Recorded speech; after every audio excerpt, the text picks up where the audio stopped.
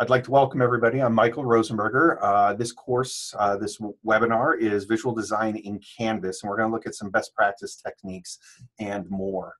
So today, uh, some of our objectives, know design terminology and the multimedia design principles. We're going to look at ways that after you're done with the course, you'll be able to evaluate your course material against these best practices and principles to be able to improve the design of your course. Um, we want to be able to create content using the layouts, make sure we're using our layouts and layout styles properly.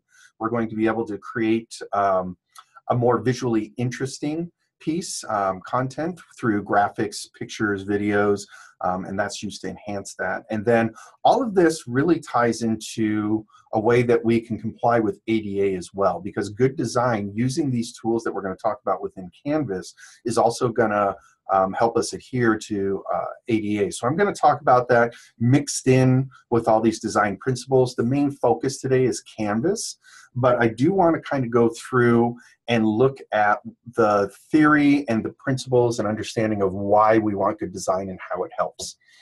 Um, so we know that when you have a well laid out article, a well laid out page, it improves the readability because it organizes the material. It helps to validate concepts when we use appropriate pictures, appropriate video um, within context of what we're showing. It helps to validate those concepts and it helps to reinforce that for students. Uh, having something that's visually engaging um, and not smattered, it helps people focus on the work, which again helps to create an increased engagement for the student or the viewer on the end. Um, in turn, when we have people that are able to process the information, it's well organized, we find that it increases the retention and completion of students throughout a class. We found that conversely, if you have a course that they're confused and they don't feel like the uh, information's organized well, um, it's just a wall of text and there's nothing more there. There's no presence of the instructor. It's just, again, like reading a book and then taking quizzes. We find that they don't complete, they drop out. So this is a way that you can also help increase um, completion and the retention of the course. And as I mentioned, one of the things that having good design and using these tools will do is it's going to comply with the ADA, American Disability Act. So um, in this instance, uh, using visuals, auditory, and cognitive, our layout, organization, the visual aspect, and then being able to add in audio, we want to make sure all of that ties into what ADA compliance we need to do. And I'll show you some of these great tools um, as we go along. So again, I'm not going to go into too much about that. I'm also not going to go into too much of the theories here, but um, I'm going to click on this. Within this webinar, I'm going to go between my presentation and web pages, so you'll see me clicking in and out. It's the best way I found to be able to uh, present information along the way. What I'm also going to do is copy and paste these links into the chat window, so you can click those links and open up that if you want to take a look as well. Um, the first thing that I like is in the multimedia learning book. Uh, this is something that, as a multimedia developer, it's kind of my Bible. Um, Mayer has been around for years. He's been doing this research and work for a long time, and he came up with these great 12 principles that we're looking at on this page. And some of these are going to be almost you go, well, duh, Captain Obvious, that's that's easy to see. But when we're thinking about design, if we keep these at the forefront, a lot of times we don't realize that we didn't do it. So it's good to, um, even though they might be obvious, make sure we are doing these. So like the first one here, coherence principle. People learn better when extraneous words, pictures, and sounds are excluded rather than included. So one of the things that I find, if we looked at um, uh, busy page design. Let's see if we can pull up an image here. Uh, a lot of times organization, if you just look at this image right here, if the image does come up, uh, having a lot of graphics and a lot of information on a page may seem like a great idea, but it's very distracting. If you were to look at this page, everything is fighting for attention on it. So when we talk about this principle here, when we talk about the words, pictures, and sounds are excluded rather than included, we want to make sure we're concise with the information that we provide. Um, signaling principle. People learn better when there are cues to highlight the organization of essential materials. Again, when you look at something like this page, you really don't have any visual cues, any symbols, um, any structure to the menu because it's multicolored. It doesn't stand out. There's nothing that really lets us know how this page is organized or what the main content is about. Uh, redundancy, people learn better from graphics and narration than from graphics and screen. When we talk about redundance principles, we're going to talk about how we utilize repetition, and I'm going to talk about those principles here in a second. Spatial continuity is a really important one. People um, learn better when corresponding words and pictures are presented closer together rather than far. So we talk about alignment and proximity, how pieces are grouped together. Think about how a page with just text, you have blocks of paragraphs, and that helps in spatial continuity to understand that these are groups, these are groups, and these are groups. Um, temporal, people learn better when corresponding words and pictures are presented simultaneously. Um, and then we look at segmenting. So those two kind of fight with each other. When we're doing any type of design, we like to have all the content on one page. But a lot of times, what do we tell people, like when they're doing videos? Don't do more than five minutes, break things down into digestible chunks. So we want to make sure that all the information that we need for something is on a page, but we also want to take a larger chunk and break it up into multiple pages. So, and then we have pre-training principles, uh, modality. I won't go through each of these, but you can look these up and, and study these more. The last three, though, are something we are going to talk about, which is uh, personalization, personalization principle, voice principle, and image principle.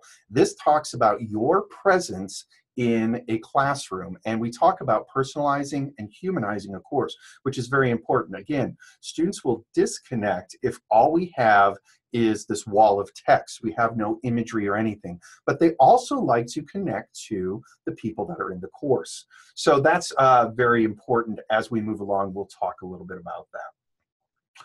So those are some of the guiding principles overall for multimedia design and designing in general.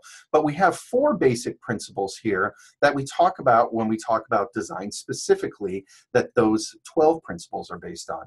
And that's contrast, repetition, alignment, and proximity. Again, I'm not going to go into this too much. I just want you to understand some of the theory of the tools that we're going to be applying here in a second. So one thing to notice is if you look at the beginning of the, in, uh, each of these words, contrast, repetition, alignment, and proximity, we have C, R, A, and P, which yes, is crap. Your design should be crap, and the title of this is actually Crap Design Principles.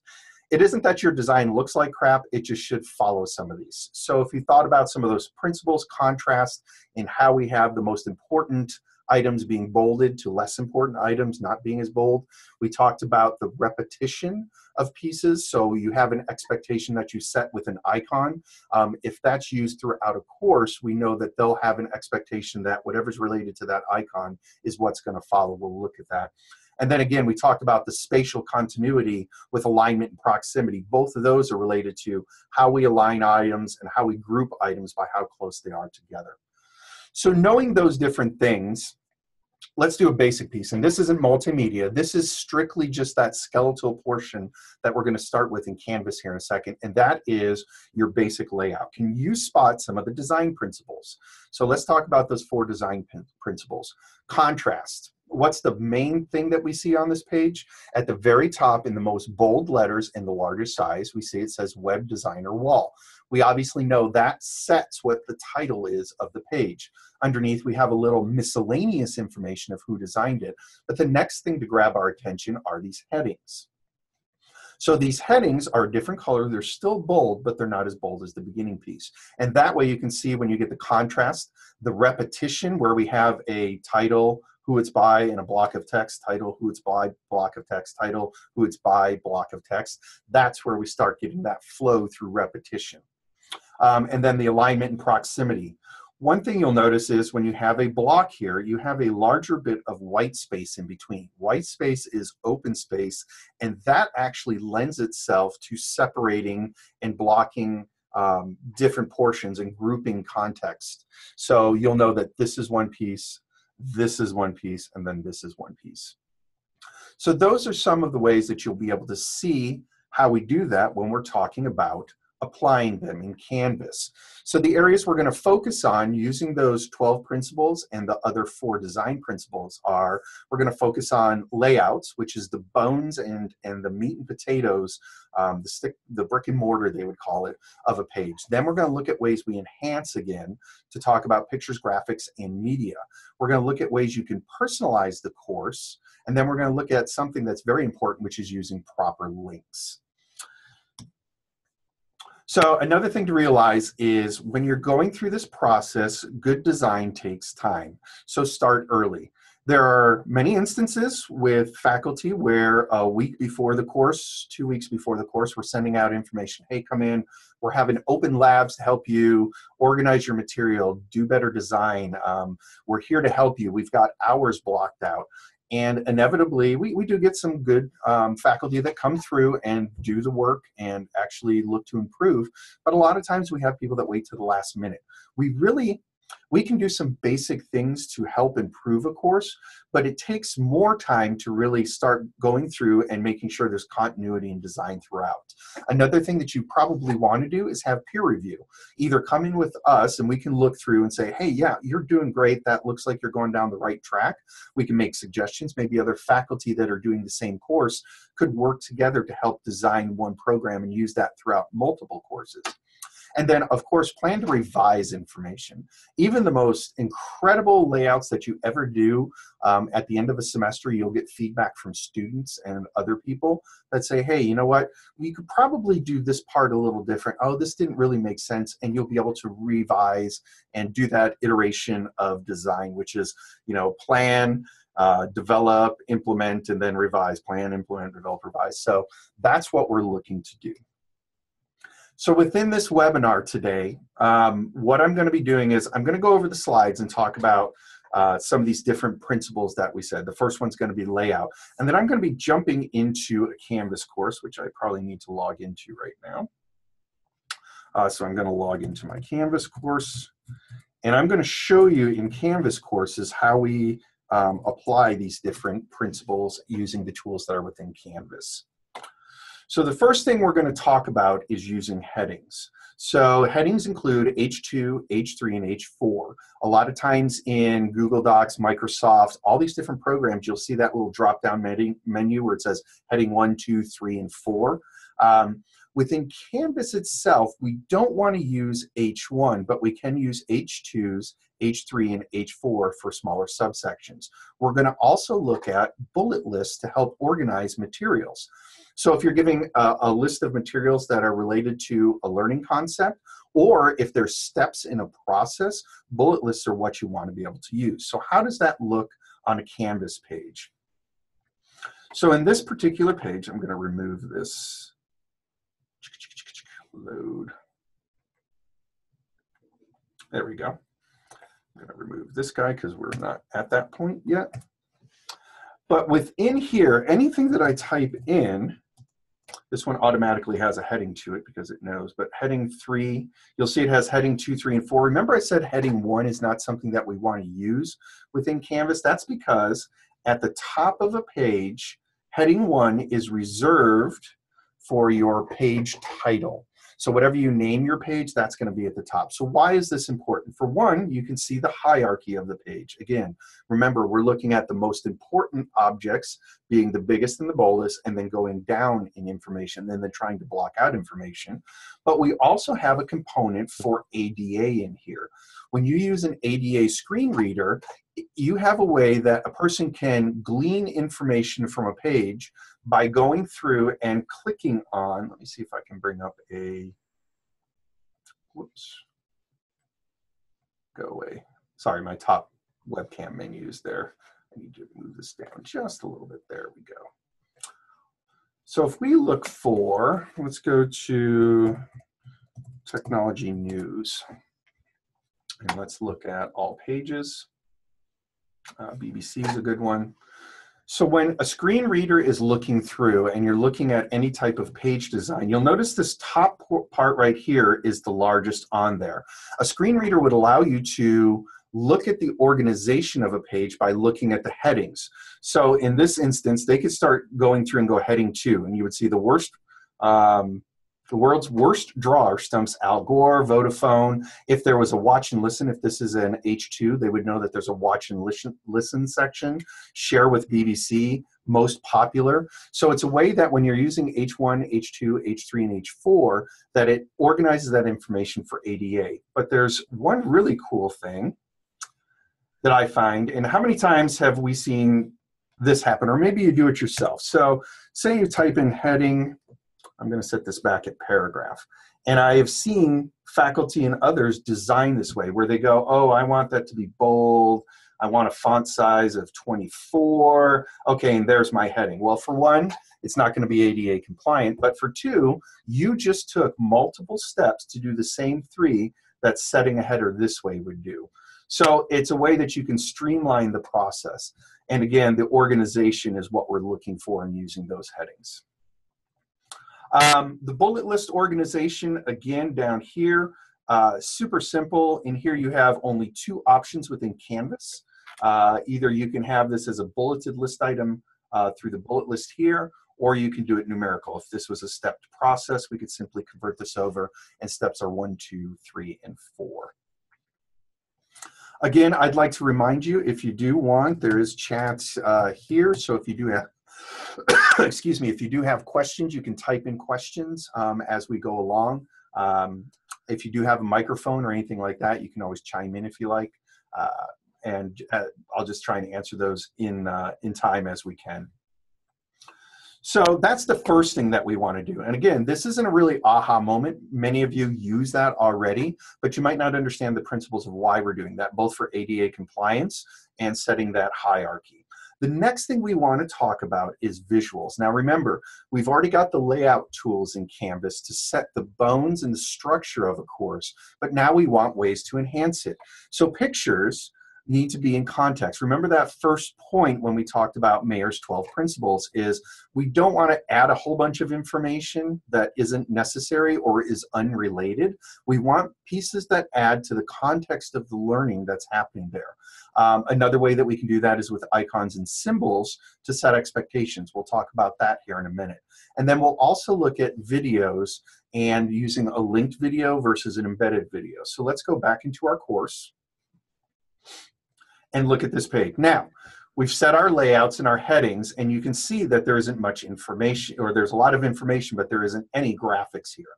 A couple ways that you can add information, and the, the top questions that I get is, how do I add an image and then maybe move it off to the right?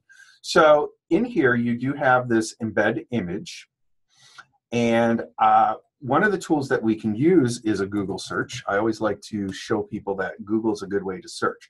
So say we wanted a picture of books picture. When you go in, the second piece here is the images tab. Now, we want to use copyright free images. So a quick tip here is if you go under tools, you'll see that you have a tab for usage right. Go ahead and just say labeled for re reuse and modification. It's going to limit down your choices, but you, ha you have a lot of pictures that you can use without worrying about infringing on copyright. So we can simply look at an image, and then if you want, you could download this image, upload it into Canvas, and utilize it that way so it's in the files in your course. However, one of the things that you can do is if you know this is a persistent link and isn't going to disappear, we can simply copy this link, and we can paste this into the URL area. Another ADA compliance thing when we talk about designing is every picture in here will have something called alt text. Alt text is a way that you do a short description of what the picture is in relation to the context. So if this was a piece that's talking about a particular type of book, you might say these are old books that demonstrate how paper has changed. But in this case, if we're just using it as a, a representation of books, you can say books picture. Books picture.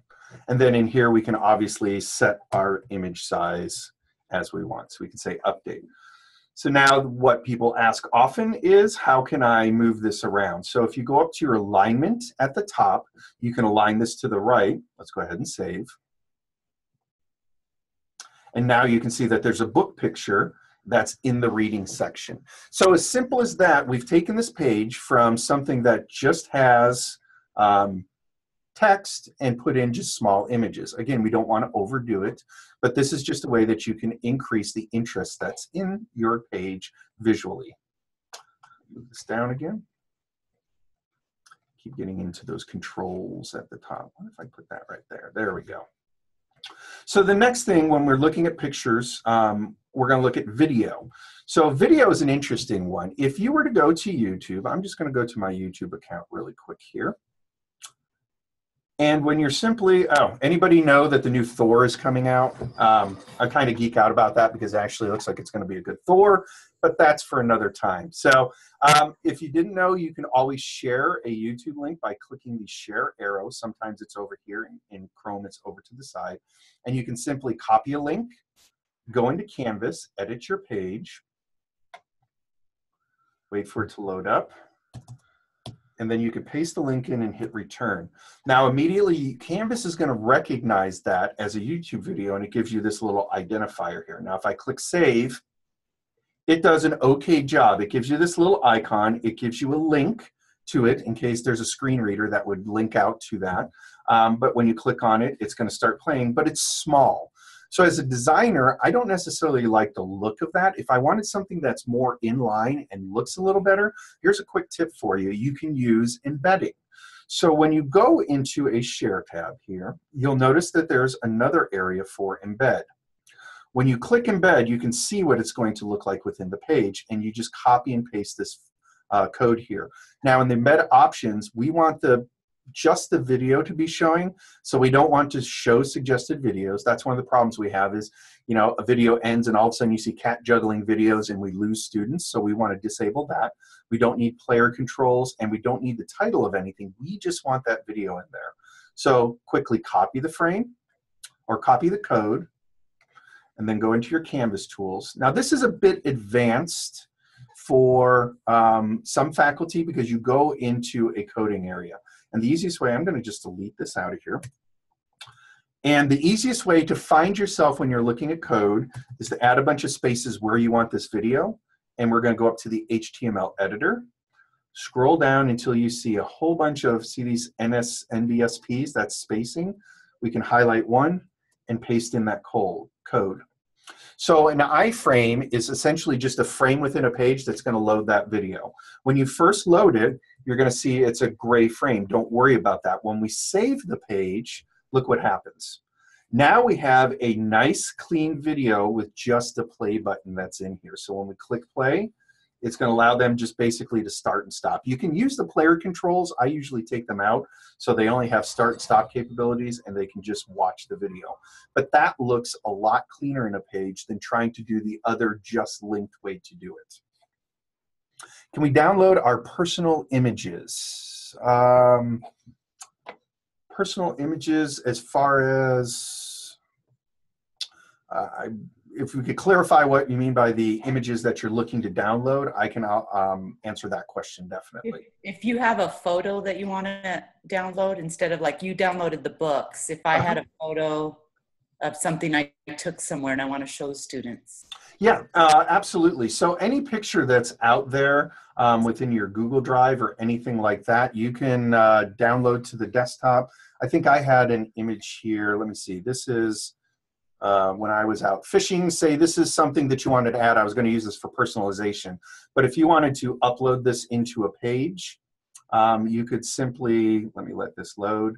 If we were trying to put this in this page, go over to images, upload that image, find it on the desktop, and then go ahead and upload it and it would become part of that. Does that answer your question? Yes, perfect, okay. thank you. Yeah, and anything that's out there that you can download, um, and you can go into the images area and upload them here. I'm going to go Thank ahead you. and cancel that. Any other questions to this point? So again, these are just simple ways, again, with a few interesting little steps of adding a video and some books. Let me get this over here. There we go. Um, one of the things that's neat about um, Canvas now is they use what's called dynamic scaling or um, uh, dynamic design. So if you were to put this on a small uh, phone, which would look like this, you'll notice that it scales down the images, it scales down all the reading and everything. So if you're going on a phone, students could actually do their work on phones as well. It doesn't look as nice as it does when it's big, but at least you can go through and do that. So again, um, pictures and graphics, remember they should be in con uh, context of what's going on. Uh, video, I like the embed versus the linked. Uh, in the resource page, I will have a short video that demonstrates that. I've still got to put that together, but you can always reference this video as well, or just contact me and I can walk you through that the first time. So we kind of hinted at icons and simple uh, symbols to set expectations. Um, when we're talking about visuals and we're talking about the power of what a visual can do, if you're not convinced, I want to show you a cool little game. And you've probably seen something like this before, but it's amazing how embedded visuals become in what our experience and our learning has been. So if we were going through here, if you were looking at each one of these, you would be able to name most of them. Um, I don't know what the first one is, but here we have Shell, we have Nike, uh, Playboy, I just heard about that one. I have no idea what that is. Uh, Pepsi, for you old school people, we have Atari. Uh, I don't know what the orange bulb is. Toyota, but you could go through and probably name most of those pieces on there and think about what that symbol means. When we say a picture's worth a thousand words, it's really a relational piece that's really powerful in learning. So when we say Shell, you're thinking gasoline, you're thinking of a road trip. You have this experience that really encompasses just that one picture. Um, Pepsi, Atari, um, AT&T, Chevy, Adobe, all of those are going to conjure up some memory. So we want to be able to utilize that and those expectations when we're within Canvas. And how can we do something like that? Well, let me show you an easy way to do this. Again, um, let me go back in here. Google image search is a great way to be able to find those free resources. Make sure, make sure you're using the tool that shows copyright release and that they're Creative Commons. One cool tool here is Pixabay. This is specifically all free, high quality images that are, if you look right here, no copyrights. They're Creative Commons public domain. So that means you can download, modify, change. You don't have to worry about attribution um, if you notice in my presentation here, let me just go back.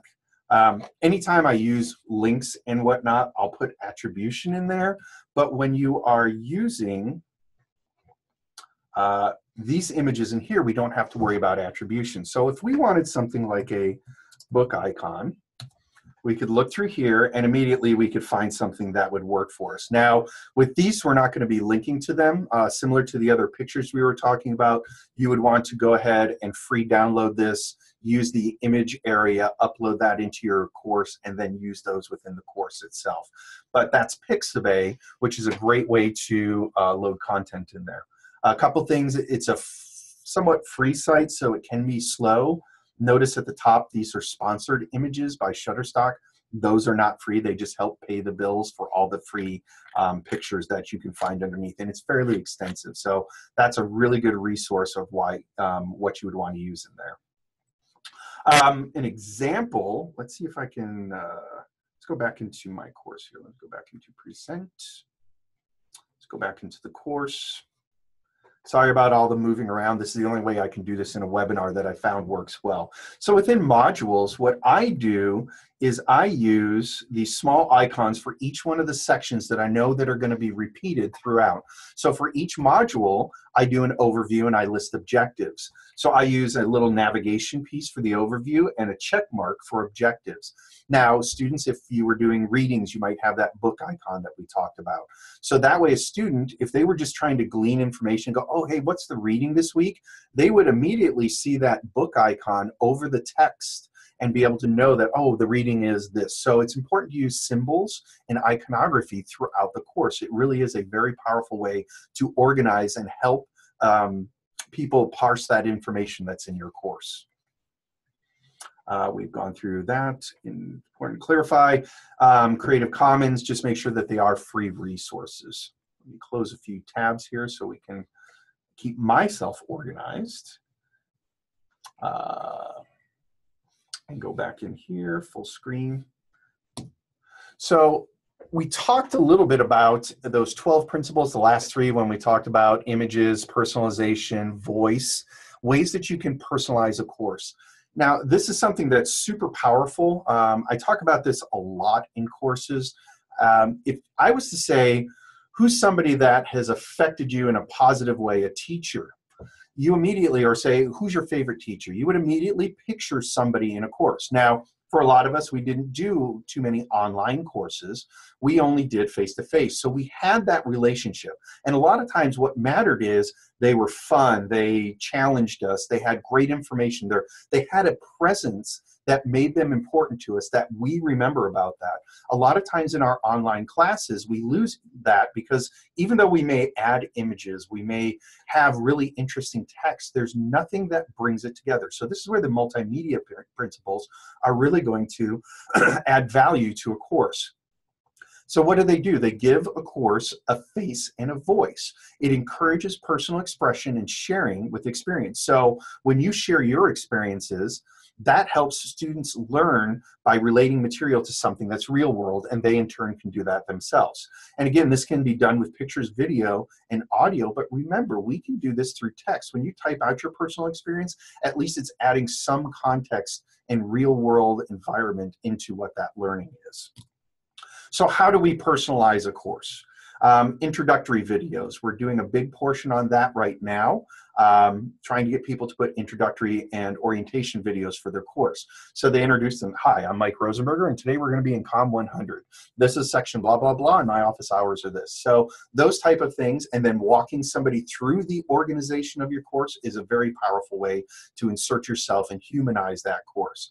Um, biography pictures. If I were to go in and look at each one of the faculty and see how many people have that gray little stiff icon um, instead of a picture, it would probably be at least half. So that's a way that you can do that. Update your biography or create a biography page that you use within the course.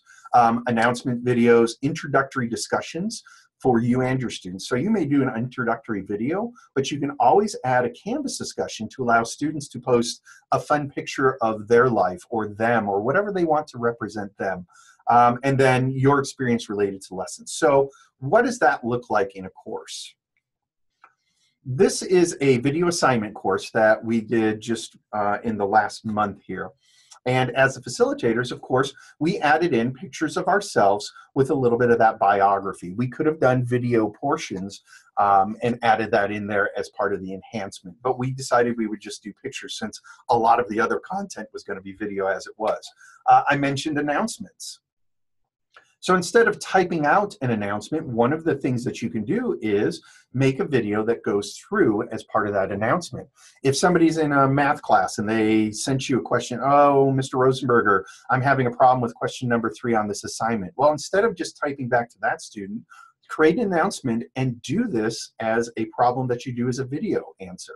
So that way you get your presence, they know who you are, they can relate to you, and you can kind of empathize. You have more um, inflection in your voice, you can sympathize with them, and it just builds a better rapport within a course than just typing out some text. Here is how you do this, boom. So um, that's just some great ways that you can include yourself within a course. I don't think we did. Um, workshop overviews. So this I want to show you, I think we use some different text, um, different thing, ways you can break up pieces. Um, here, organization using um, not just bullet points, which we do in here, but you can also use tables to organize information within Canvas. Um, in this course, we didn't use a lot of images necessarily, but we did include the video portions in there with links as well. Um, so the last thing that I'm going to hit, where are we at time-wise? 234. Yep, so we should be good here. Um, again, I was trying to get about 45 minutes so we can answer any questions we might uh, have here. Uh, proper links. So this is something that's very interesting. If you see this image here, you see that read more. And this comes from a time in the infancy of the internet where people didn't really even know what a URL, a link, or anything was. So we wanted to direct them to the proper links to guide them through a web page.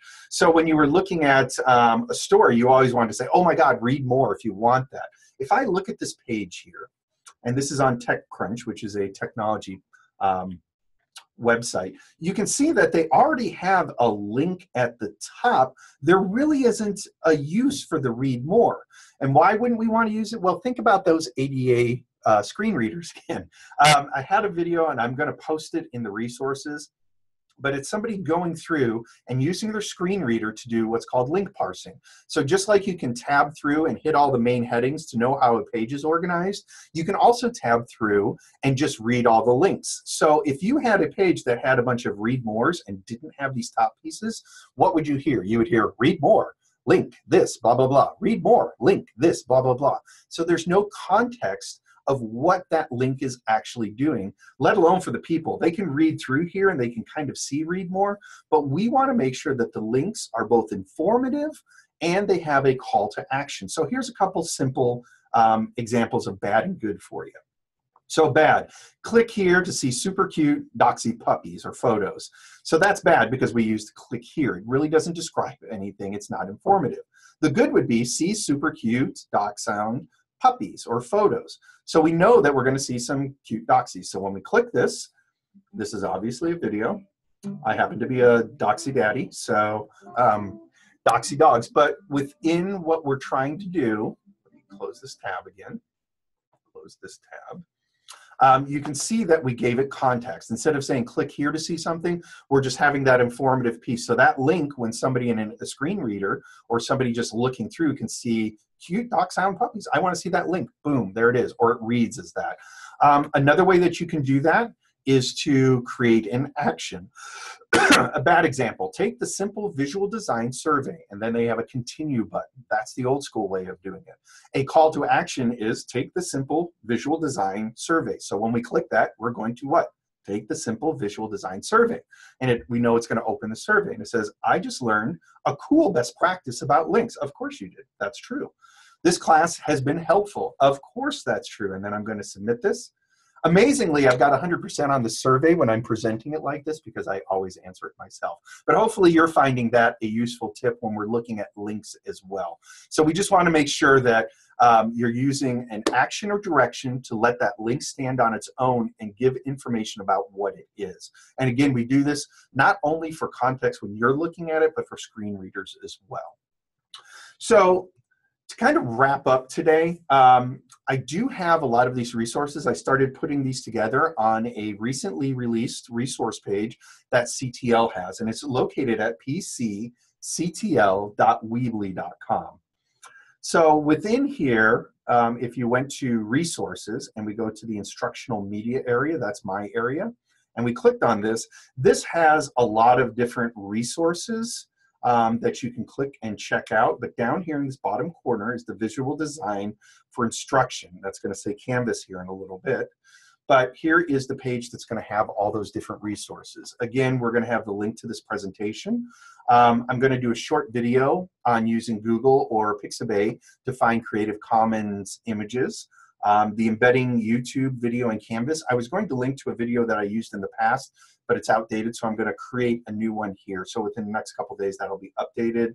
Um, one of the things that I kind of glossed over because I wanted to bring this up in the end because it does take a little bit of time is right here when we're talking about in the meat and potatoes and bones. This tip tip here talks about using Google Docs to design um, and not Word. First of all, we don't want to use Word and try and copy and paste information out of Word because Word has a lot of other formatting, so it won't go into um, your Canvas page very well. But if I was to go into, let's go into a doc here.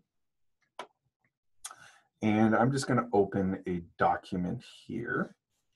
And you'll see that I've pre-formatted this with a title, subtitle, heading one, two, three, four, and then normal text. So I'm going to highlight all this information out of here. And I'm going to go into, let's go to this course. I'm going to edit this page one more time. And I'm just going to paste this at the bottom just so you can see what this does. And I'm going to save. So not all of the formatting elements, you'll notice um, the picture did not come through, um, the title and the fonts do not come through, but you'll notice your heading categories do come through. And why is this important? Well, um, one of the things that came up recently is we have instructors that do face-to-face -face classes where they design handout materials that they're going to be giving to students. So if I have, load up, this uh, Teachnologies piece that I want to print and hand out, that's great. Now I can make this an embeddable and put it in Canvas, but what if I wanted to take the information and put it into a page? Well, I can grab this information if it's formatted correctly using all of our headings and pieces here, and I can at least get the basic text out of here into my course. Same thing again, I can edit. I'm gonna go down to the bottom, just remove this. I'm gonna paste this in and I'm going to save. And here you can see that it grabs, again, if we were to look here, this is a heading one. It's going to grab some of these smaller subheadings and whatnot. But it's a way that you can design pages and have them ready for your face-to-face -face printout, but you can also take that material and use it to copy and paste and move it into a Canvas course as well. So again, don't use Microsoft Word if you try and copy and paste out of Word. There's a lot of extraneous information that's going to get in there. It's going to turn out all wonky. The only thing you'd have to do after this is just upload those images like it is in here. Uh, where's my document? There it is. And these are all, again, download those, upload them into Canvas, and then um, add those in as left justified. I do have a tip that I will send out this next week. I've been testing where if we publish this as a web page, Google Docs allows you to publish something on the web. Um, you can grab all that information. It will already include the images, but I'm not going to release that just yet. Just look for that in the next week when I do some follow up with this and trying to help um, give you more information. So those are some of the basics. Uh, let me get out of this.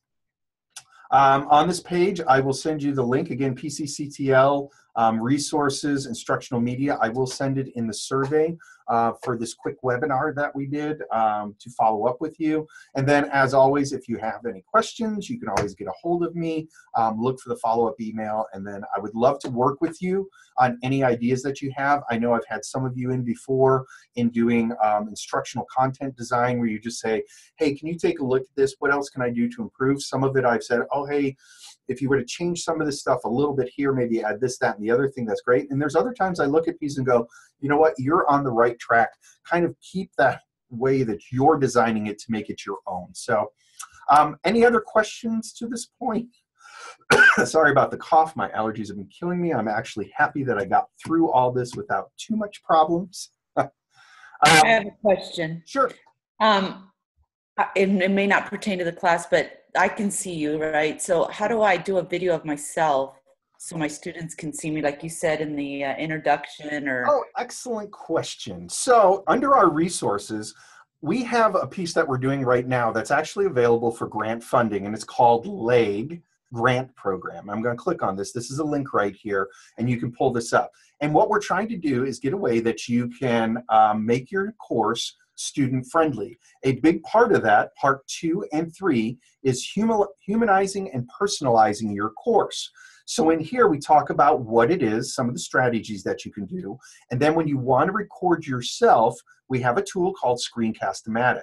And in here, it's going to have a tips for video recording, which you can click on, that talks about how you want to do it, some of the recording best practices, um, and it goes through on that. But it also, whoops, I closed the wrong Sorry. So that is accessible to us right now. We can use it. Yep, absolutely. Okay. So if you go to the PCCTL um, .weebly.com, go to resources. This is all available in here. Um, there are still grants available if you're designing your course um, that you can get uh, awardees a $275 grant if you complete all these different pieces. So it's a great way for you to do what we're talking about with humanizing and personalizing and a way that you can get paid, uh, paid and get uh, professional growth for it as well. So this actually has all the Screencast-O-Matic tutorials to walk you through how to record yourself, how to do a screen capture if you wanted to show some pieces in your course, um, and different ways that you could utilize, utilize Screencast-O-Matic. Any other Thank questions? You. Yep, absolutely. That's a great question. actually, it was a terrific segue to this wonderful page. All right. Well, um, so it's 2:45. Um, I had hoped there would be a little bit more questions. I was trying to cover that as quick as possible. Um, trying to think if there's any other really cool tips that I have in here. Uh, and that's really it um, for design. Again, just using the paragraph styles um, and then including those pieces within there. So uh, we're going to end it for today. Uh, I will follow up, look for that follow up email um, with all these different resources and links to the websites. Uh, all the pieces that we talked about today. And then please do contact me uh, if you want help doing something, if you have questions on doing something, if you want me to do something, if you just don't feel like you can design um, a good graphic, you can't find something, contact me. That's what I'm here for. I'm the instructional media developer on campus, and I love, love, love doing the multimedia stuff. So, uh, with that, I bid you a great day, have a terrific weekend, and look for the follow up.